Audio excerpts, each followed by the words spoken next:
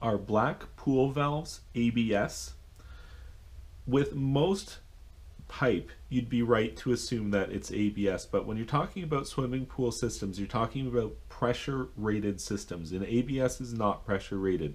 So when you see a black fitting like this, or especially something like this, it's not ABS material, but it's not PVC either. It's something called CPVC, and that's essentially a special heat rated PVC pipe. And to cut to the chase, the reason you're asking this is probably because you need to glue pipe into it and you're trying to determine, well, if it's ABS, I'm supposed to use a special glue or something like that.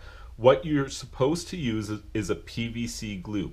Being that the valve itself is CPVC, that means that you can use CPVC glue or you can use PVC glue.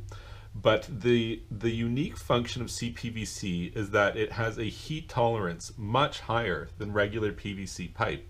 And if you want the heat tolerance to also include the joint that you're gluing into the valve, as well as the valve itself, then you would need to specifically use a CPVC solvent uh, cement in order to uh, make it a heat rated connection.